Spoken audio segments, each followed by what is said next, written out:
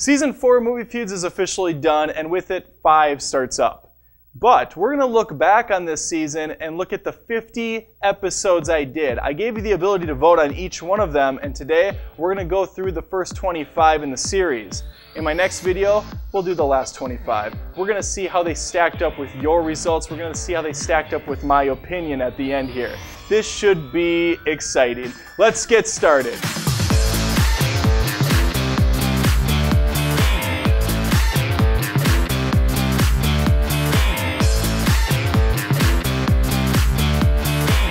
Ninjas holds a special place in my heart, but it's really just a shit movie, let's be honest. At the end of the day, it's pretty bad. You guys agreed with me. I won this one against my friend Derek. It's a nice way to start season four of Movie Feuds. Let's hope this train continues a rolling.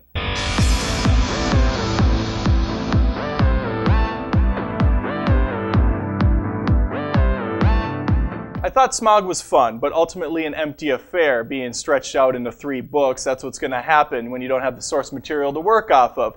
Harry Potter I thought was a nice trip. It was brilliantly executed. A lot of you agreed, but not enough.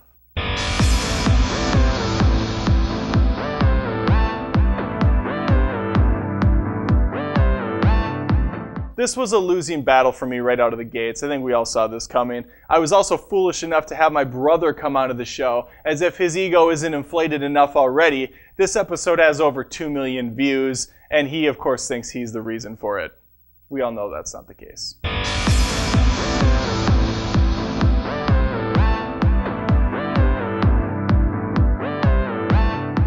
Gravity is a beautifully shot space survival flick, but one that felt a little bit empty. It's more like a ride than a fully realized film.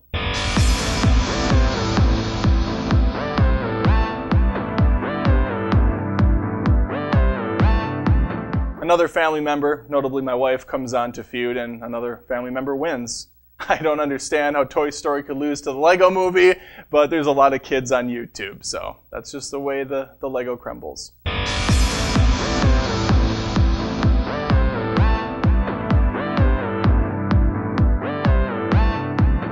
The original RoboCop is a great movie. The sequel felt like this, or not the sequel, the remake felt like this rushed cash grab. It didn't have anything unique to say.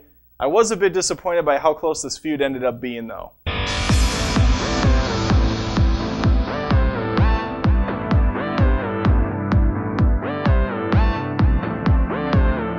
I lost, but I really don't care. They're both big budget dumbass movies. They're a horse apiece, or whatever the phrase is.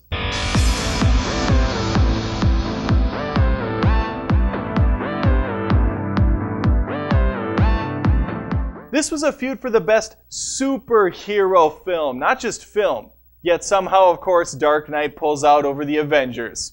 That sounded really bad. My cousin Drew was on, he won, he's smug as hell about it, but I can assure him that's the last time he wins on this show. Because he's never coming back.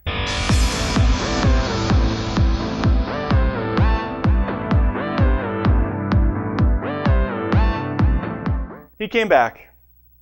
He won again.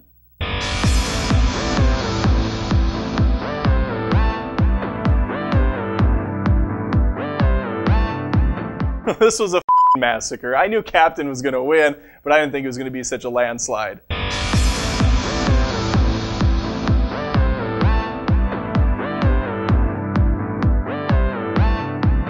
Mark Ellis comes on and we battle webheads. Somehow The Amazing Spider-Man 2 beats Spider-Man 2. This is ridiculous, folks. You need to check yourself at the door if you think that The Amazing Spider-Man 2 is better than Spider-Man 2.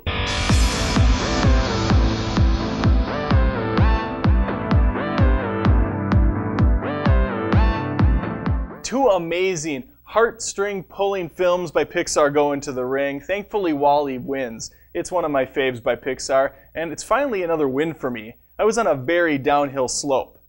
It's time to climb back up.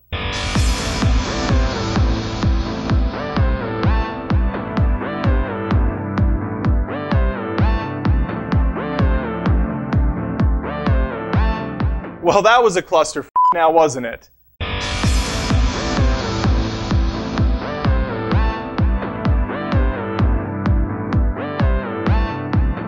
I kicked Greg Miller's ass in this feud, and it felt very good. Considering it was Greg Miller was the cherry on the because I think he's awesome. He actually came back on to do a game feud. Spoiler, he lost again.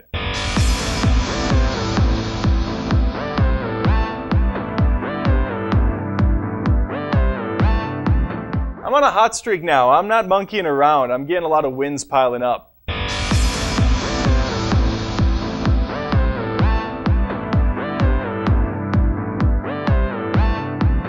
DreamWorks finally gets some love on this show, yet still no Shrek episode. Season 5. I'll do it season 5. And this is another win for old Adam.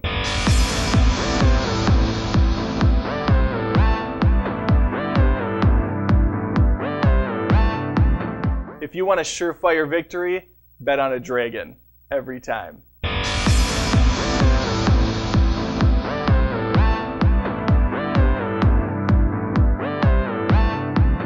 The Lion of YouTube took a break from reviewing every movie ever to come on my show and feud which movie was worse. X-Men 3 was my own personal hell. I'm glad you agreed with me. Sorry, Chris Stuckmann. Maybe next time.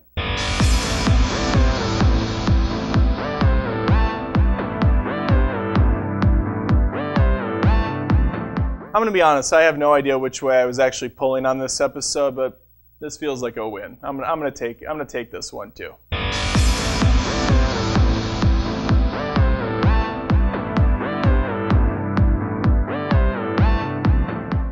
Harry Potter.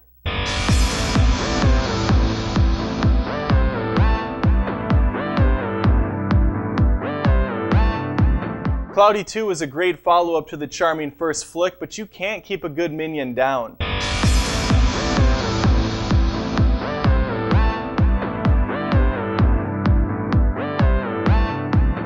I did a face off with Jonathan Paula on a Worse versus Worse episode, and even though he ended up winning, by looking at the comments, we both lost.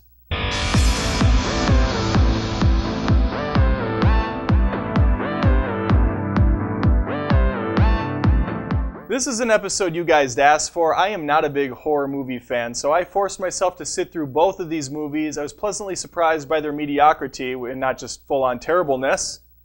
And the one that I wanted to win did.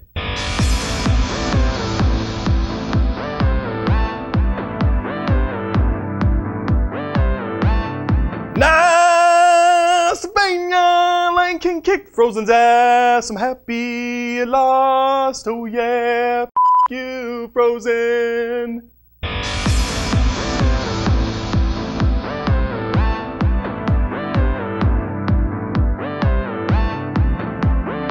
I'm going to be frank with you, and you can be Tom, of course. I, I, just wanted to see The Dark Knight lose to something, all right? So I put it up against Dawn of the Planet of the Apes. It was a new movie. It did really well in the reviews. It's a great film. I actually do like it more than Dark Knight, but this was a ridiculous idea, okay? Tom Chattelbash won. This was his call. This was bullshit. And this is Saturday night.